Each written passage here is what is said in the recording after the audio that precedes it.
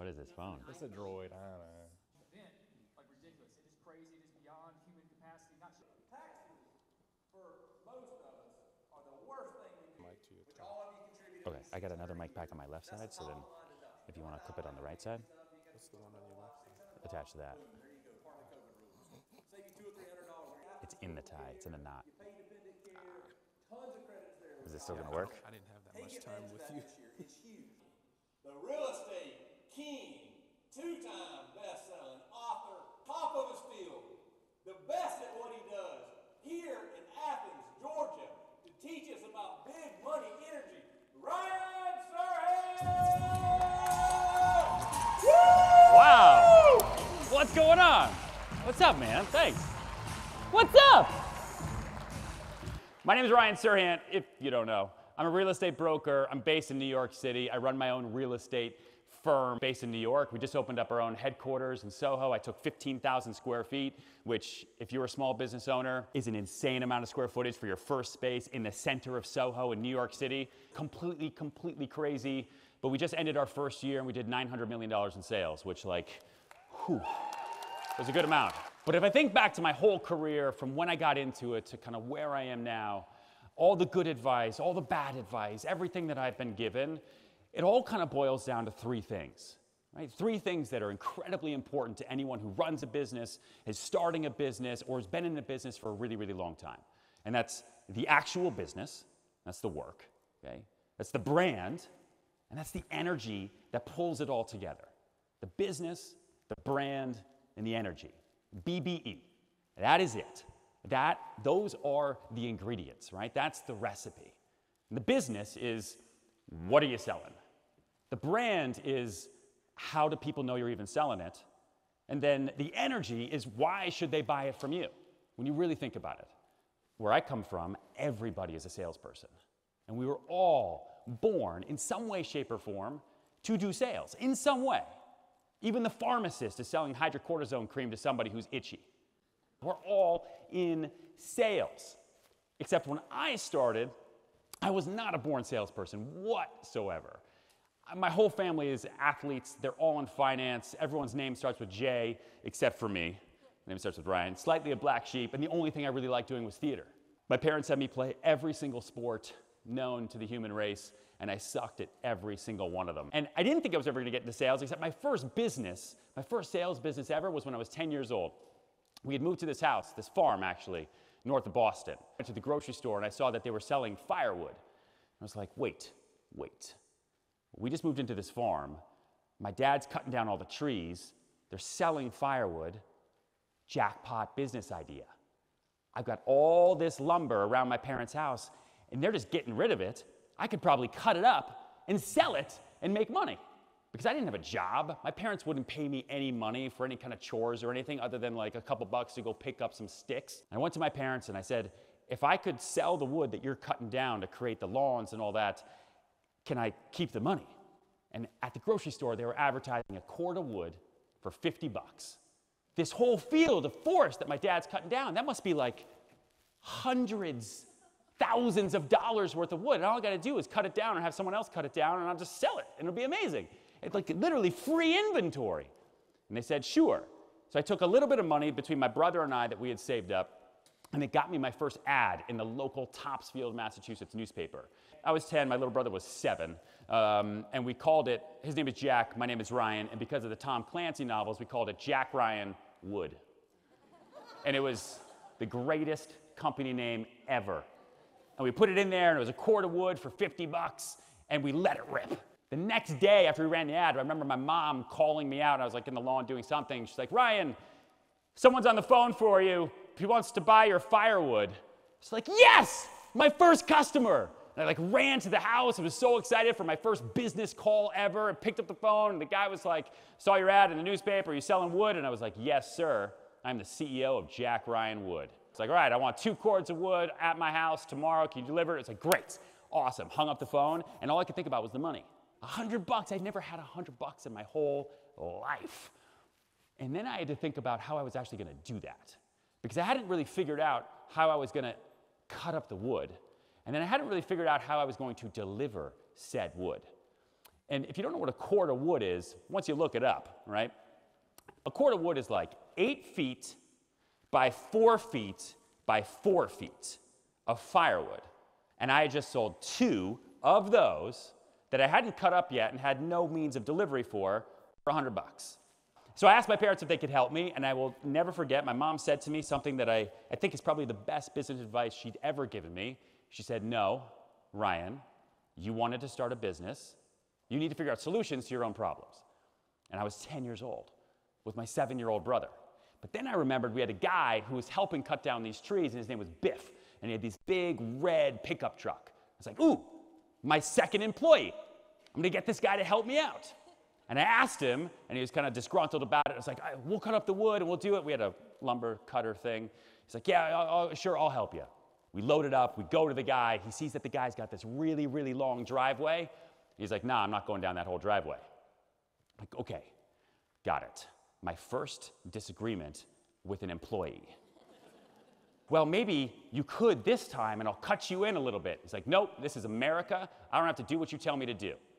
I'll never forget that's what he said to me. He hit a flip, a little switch, and the back of the pickup truck flipped open. All the wood fell out into the middle of the road, and he left me and my little brother in the middle of the road. And the guy we sold the wood to came up and he said, That's not what I paid for. I'm Like, well, right.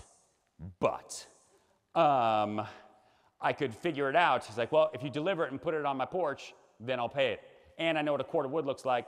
That's not a cord of wood that looks like not even a full cord. And now this guy is giving me like real heavy anxiety and I didn't know what to do. And so I thought in a moment, what would a smart person do? Aha, a smart person would stick his little brother in a bush and then walk home and get his mom. And I got there and I told him, I said, hey, listen, we've had a little mishap with our delivery man for our first business order, but my dad decided to help. He drove me back and we got a wheelbarrow. We put it in the back. They were more upset about what I did to my little brother and how I left him there and the whole thing. And he watched me. I think it took me like three hours as I took all that wood, put it in a wheelbarrow, took it all the way down the driveway, and stacked it on this guy's porch. The guy came outside and he said, Where's the rest of the wood? And I said, I'm so sorry, I'm not going to be able to deliver it. It's all cut up. It's about two miles away at our house. I, am sorry, I, I don't know what else to tell you. And he said, Listen, I'll give you 50 bucks for the two cords. Just tell me where it is. I'll have someone pick it up. And instead of being upset about losing the 100 bucks, I'd rather have 50 bucks than zero bucks. So I took it and got in the car and I quit the next day. That was my first business ever. And I didn't get back into the sales business until that was 10, so 13 years later. The last thing in the world I ever wanted to do was sales or be in business ever again. That's why I like theater so much, I think, because I could be on a stage just like this pretending to be somebody else. Because at the time, I didn't really like being myself um, for lots of different reasons, right? And so I got into real estate. Actually, I got into it because I totally ran out of money.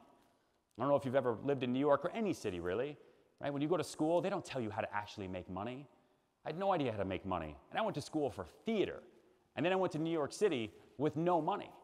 Nothing saved except for like $10,000 that I thought was gonna keep me going for like like four years because I didn't really think it through. So when I ran out of money in the summer of 2008, a friend of mine said, listen, don't become a bartender, don't become a waiter. You got to stay in New York. If you can make it in New York, you can make it anywhere. And I'm not, I'm not from New York. I'm not from New York City.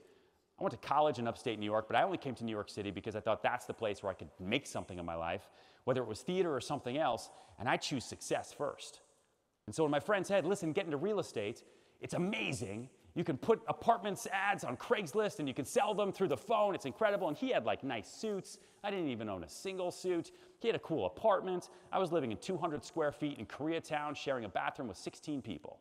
And so I said, screw it. I got my real estate license.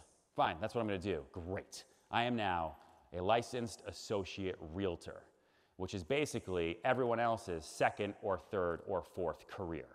Because no one wakes up and says, you know what I want to be? Hated. I want to be a realtor. I want to be a real. No, no one ever says that. At least they didn't 13 years ago. And so I got my license and I started, and my first day was September 15th, 2008, the day Lehman Brothers filed for bankruptcy. That day.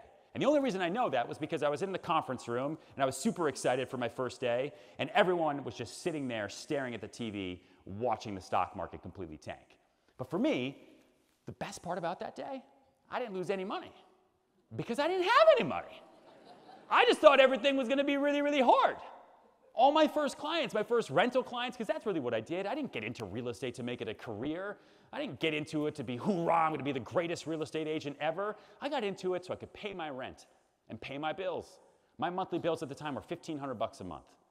My rent was $1,100. My food and expenses was 400 bucks. If I could make 1500 bucks a month, I could stay in New York City and I would figure something out.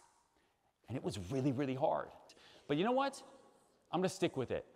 I'm gonna do it because I cannot just snap my fingers and change my circumstances. But maybe if I switch my energy around and look at this a bit differently, then I can figure out how to change my life and actually make something of myself here. And this real estate thing, this sales thing, is kind of just like theater too, right? That's the business of it. The business for me is the selling, is the work, is the improv, is the working with people. Let me look at all the other people that are doing really, really, really great. What kind of business are they doing? All right, they're doing big sales. All right, how do I do that? No one's gonna trust me. I'm barely in this business. I've been in this business for like six months. I want the stuff no one else wants. There's one listing at 45 West 67th Street, apartment 15 ABC. I remember every single apartment number and every client name, by the way, forever. 15 ABC, Kathy Comerford, that was her name. And I went to her, I found her email because she had been a FSBO for a little bit, which means for sale by owner. And she had had five brokers and she had fired them all. And I reached out to her and I said, The last price you had is an actual price. I think I can get it. I'm your guy. And she responded because probably she responds to every broker. We met and she convinced herself to give me the listing. And it was my first listing at $8.5 million that was worth like four. But boom, flag. That's it. I am now a luxury broker because I've got a listing that is luxury. Eight and a half million bucks. I don't care what other brokers think. Or the guy Biff who dropped all the wood and let me leave my little brother in the bush. Screw all those people. All I got to do is plant that luxury flag. That's the business. That's the work. That's what I'm to do. No one showed up. No one wanted it. Classic. And then one day I get a random call from somebody overseas who I will call uh, Mr. X because if I call him something else, he'll kill me. And so Mr. X calls and he says, I want that apartment. It's like, you gotta be kidding me. It's like, no, that one looks good. The one that's on the park. Yeah, yeah, I want that one. i Like, okay. It's like, I wanna make an offer. How much can I offer? Uh, eight million dollars? Sure. It's like, okay, I offer eight. Hung up the phone, gave me his email. It's like, what just happened? Did I just get an $8 million offer from some mysterious foreign billion millionaire? What is happening? I'd only done like $1,000, $2,000, $3,000 a month deals in my entire life. I'd never really done a sale, like ever. Except now I had this big flag, and now I have this buyer that wants to buy it. I'm like a total amateur. I didn't vet it, I didn't do anything. I called up my client right away because now I'm the best. Said, I've got you an offer. She said, No way. I said, $8 million. And she said, 8.3, wrap it up. All right. I tried to star 69 the phone thing, you know. That didn't work. But he gave me his email and I reached out to him and I said, I've got a counter for you, $8.3 million US. You got to be specific. Um, but I need a uh, proof of funds because I'd heard other brokers talking about that. Proof of funds, I need proof of funds. And I didn't want to tell anybody else I was working with because I didn't want them to come in and snipe my deal. Proof of funds, I need proof of funds. Three days later, I get a DHL with like a piece of paper in it with a photo of an accountant. And on the back of it, it said, and I'll summarize Mr. X can afford the apartment at 45 West 67th Street, apartment 15 ABC. Mr. X does not commit to things that Mr. X does not commit to. Huh. That's good enough for me. That's a proof of funds. That's basically a bank statement right there. I emailed him and said, Mr. X, I got your proof of funds and it checks out. Please let me know your response to our counteroffer of $8.3 million. Also, I'm like totally freaked out this whole time because, again, like I did with my first wood sale, when I was gonna get that 100 bucks, all I'm thinking about is the money. You'd think I would have learned 14 years later, but nope, nope, definitely didn't learn. So all I'm thinking about is 3% of $8.3 million. That's like $100 billion, right? I'm gonna be rich forever. And then I realized wait, Mr. X doesn't have a broker. This is a direct deal. And in New York, I can double end it 6% of $8.3 million. I'd never made that kind of money in my entire life. So now all I'm focused on is I gotta get this thing done. And then he didn't respond to me. He ghosted me completely.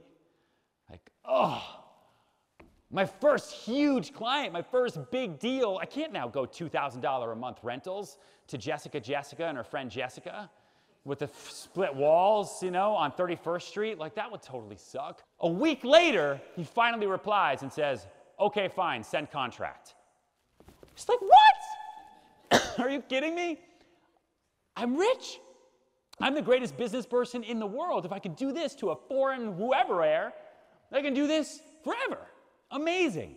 So I introduced him to an attorney. The attorney's name was Brian. I was like, listen, this guy totally checks out. Don't ask me how, I just know. He's totally gonna buy this apartment. Everything's gonna be amazing. It's gonna be great. Got the contract together. My seller was on top of me. Mr. X disappears again, vanishes, stops returning phone calls, stops returning emails. A month goes by. Contract out for a month. Nothing happens. Following up with him left and right, trying to find different ways to get in touch with him. I'm like Googling a little bit, and he kind of exists on the internet, but like also kind of doesn't. And then someone tells me, hey, you've just been part of your first scam. Good job. My first scam? What do you mean? I don't, I don't, I don't there's none, of, none of this money is mine.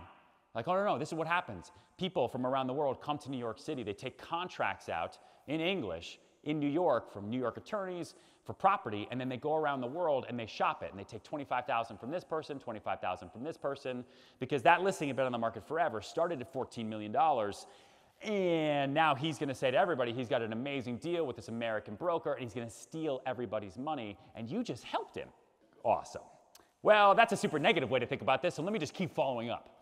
And I followed up and followed up and followed up and followed up and followed up. And then one day I'm on the West Side Highway in a taxi cab, I think just drinking like an iced chai latte to drown out my sorrow. And Brian, the attorney, calls me. He's like, You're not going to believe this. He's like, What? I just got a wire for $830,000 from the bank of X uh, into my escrow account. You're in contract for 45 West 67th Street. Like my whole life just flashed before my eyes right there. Way better than selling firewood for 100 bucks. I just sold an apartment for 8.3 million dollars. Hadn't closed yet. But I just put it in contract. Called up the seller. She was so freaking excited, unbelievable. I clicked it. I said in contract on the internet. That's like a big deal for us real estate agents who go online and say in contract, just to let all you people know. You all said I wasn't going to be able to sell it. You have no idea who I am, but I just put this thing in contract. Definitely closing. Nothing shady about this deal whatsoever. Totally fine. Same guy told me it was a scam. He's like, oh, yeah, no, he probably wants to keep it in contract for longer and he's probably going to wash the money now. So now you're definitely involved in like a big money laundering process. It's like, oh, so do I get my commission though? like if it closes, am I just a party to the deal? Or like, am I like a party to the deal? Again, this is still the work, right? This is still the business. Make a long story short, he disappeared for five months. Five months, that thing was in contract. People were trying to sue each other, but there was no one to sue because the guy was totally, totally vanished. It's this whole blur of a thing, and then one day he calls me. I'm in my apartment, all hope lost, because sales just sucks, and it is so hard. He says, Ryan, I'm in New York City, I'd like to close. It's like, what? What? One day, dude, one day I'm gonna be in Athens, Georgia, and I'm gonna tell this story, and no one's gonna fucking believe it. And I'm like, okay, well, where are you? Do you want to do a walkthrough? Do you like what do you what do you want to do? It's like, meet me in my hotel, Mandarin Oriental, 59th. I'm like, okay, great. Wonder if you're even gonna show up. Go up there, I tell everybody, everyone's freaking out, we're gonna go to the closing. Go up there, he's not there, doesn't come down. Four hours later, he eventually comes down with a whole entourage behind him. The same entourage. One of them is like an espresso assistant. It's like this whole thing. A fleet of black Escalades, like armored out, floors it in front of the Mandarin Oriental in New York City. Comes out, he's like, sorry I'm late. Let's go for a ride. Mom. I know, I know what I told you that one time, and I made it back alive. This time, I don't know. Like, where do you want to go? Do you want to see other apartments? What do you want to do? He's like, no, we go to airport. I'm like, no, no, no, no, no, no, no. Uh, yep, yep, yep. I got into this business to pay my rent and my food, 1500 bucks a month. What am I doing in this situation? Why do I say yes to the weirdest things? We go to JFK and we go to the back part of JFK where I'd never even been before. We get back there, like, I don't know what's happening. He's like, we just have to do one thing, and then we'll go back into the city. We'll buy that apartment. Like, okay. There's this huge private airplane, jet, something. I don't even know. It didn't have any like American Airlines, none of that on it. He goes out there, he meets some guy, goes up, comes out, signs paper, gets inside the car. We go back to the city, buys that airplane, goes into the city, buys the condo, wants to take a photo of me for his BBM profile, and continues from that day on to do about $350 million worth of deals with me. He's one of the wealthiest people in the world that you'll never know, and he just doesn't care. And one night he was drunk in his house on the internet looking at real estate porn in New York City trying to figure out what to do with 8 or 10 million dollars because when you make a billion a month, you got to kind of figure out what to do. And he clicked a thing and picked up the phone and had a drunk phone call with a kid in New York City due to the time difference who thought he was serious with no intention of ever buying it, ever. Except that kid in New York City kept following up and stayed on top of him. And eventually he just, and he told me this, felt bad.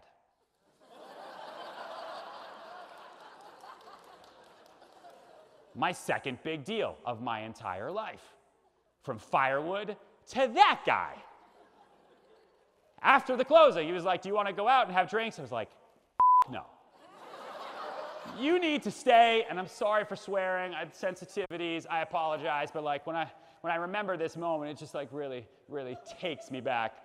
But that's the business, you know, that's the work, and that's where I learned to do the work. Fast forward from that day to last year, pandemic. I've been trying to figure out how to start my own business, start my own company. How can I break the mold, go untraditional? And I couldn't get out of the brokerage I was out because the business was too big. How do I leave a business that I'm at when I have 600 listings and 65 people? It's too hard. But then God showed up. It's like, hey, coronavirus. I'm going to shut down the world for six months. You're good. Every single deal died that we had on March 18th of 2020. And it freaked us out for a second, but then I looked at it and said, with every failure and every piece of fear in my gut, that's just my body's way of telling me that's an opportunity. Let's go. And we put the business together really quickly under the cover of darkness, went into like a secret office, put it all together, and we launched last year. October 1st was actually our one year anniversary, and that's when we did the 900 million over the whole year, and so it worked. I got a listing for a townhouse, $15 million in Chelsea. No one could sell it because it was really short, so it was tough. It was like a super vertical square Rubik's Cube. We created a video of it because it had a pool in the basement. We put it out there on YouTube. We figured out how to do social ads before people were really doing them. And I started targeting wealthy kids because kids watch YouTube. Parents don't watch YouTube. People always ask me, they're like, hey, yeah, so you have a social presence, whatever. But people that are buying expensive real estate, they're not on TikTok. I'm like, no, they're not. Guess who is? They're kids. An 11 year old girl saw that video, showed it to her mom who was looking for townhouses on the east side. Her mom saw it, showed it to her real estate agent. Her real estate agent called me. They came, they bought that house for $13 million. Otherwise, never would have seen it because otherwise it was just pretty photos up on the internet and they weren't even looking in that side of the city. Last Friday, I sold an apartment for 11 million bucks, 224 Mulberry Street, fifth floor, through Instagram. 100%. Totally honest. Because the power of exposure and putting that content out there for me, core identity, consistent content, and then you shout it from the mountaintop. And what I mean from that is the power of PR. Get your business out there into local publications, it turns into bigger publications. People read editorials and they believe them. They see advertising and they feel like you're pushing your message onto them. It's a very real thing between push and pull from your message. And I wanted to pull as many people into my message as I possibly could. I want to be the broker that does 10 million plus. So guess what? I tell everyone I'm the broker that does 10 million plus. And if I tell everybody, they'll believe it and then I will make it so. Because I want to be the greatest broker in the history of the world. And from there, it just steamrolled. 44 million here, 33 million here. I was just sitting backstage right now trying to figure out the discrepancy between a closing cost and a $33 million deal on the Upper East Side, but I'll figure that out after I'm done with you guys because I'll be in the car. I got to drive two hours back to Atlanta. That's enough time to talk this wife off a ledge. I can do it. I've done it before. Power of brand. I can't change my circumstances, but I can change my energy to change my life. How do I stop pretending like I'm an amateur? And how do I start acting like I'm the adult, like I'm the professional that I want everyone to treat me like? Information, theater, I'll just memorize. That's it. If anyone ever asks me a question I don't know the answer to, I'm just going to start talking to them about stuff I do know the answer to, just like a politician, because that's how it works. And that's when I thought about okay, all I had to do was I bought a suit, I put a car and driver on a debit card, and I just told myself that I was the greatest broker ever, and it worked. I'm gonna do this every day. I started writing down on a piece of paper who I wanted to be two years from now. And I still do that all the time because I wanna start being that guy today. My role model is that guy, not anybody else, because I work for that person. Me two years from now, me 10 years from now, I'm gonna be that person. 2020 is already, 2021 is over. Before we know it, we're going to wake up and it's 2022, 2025, 2030, and it goes by so fast. Yourself in the future, that's who you work for. I want that guy to be happy. Otherwise, you know, I hope he'll be successful and he'll have to like come back in time and kick my ass. And I don't want him to do that. I want him to be super happy with the work I'm putting in today because what I do today is done. It's over, right? It's done. I want to have that type of energy. And that's what big money energy really is it's big magnetic energy. It's that unwavering confidence for what you do because you believe it so strongly in your core that it becomes that brand and you can tie it back into your business. So you can have the greatest business with the strongest brand and unwavering energy to build a successful career. Happiness is wanting what you get. But if you can be happy with your success at any point in your life, then that is a life of fulfillment. Thank you so much.